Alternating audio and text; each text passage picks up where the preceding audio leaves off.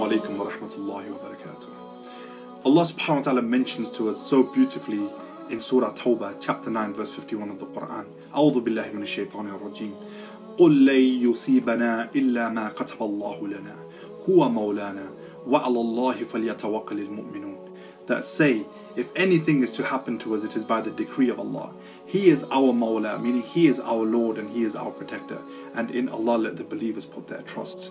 It's truly an amazing, amazing verse of the Quran which should provide us with a morale and a spirit boost, as is mentioned in Tafsir Ahsanul Bayan.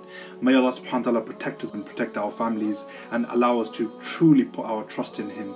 Ameen. Ramadan Mubarak from myself in this month, brothers and sisters, as you know, let's try and give to the poor and needy. GRT are doing a fantastic job, so let's support them in that. May Allah subhanahu wa ta'ala bless them. Ameen. Jazakumullah khair. Assalamu alaikum wa rahmatullahi wa barakatuh.